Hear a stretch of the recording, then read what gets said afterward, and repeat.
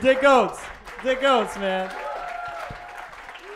We'll be back in a few short minutes. Thank you very much.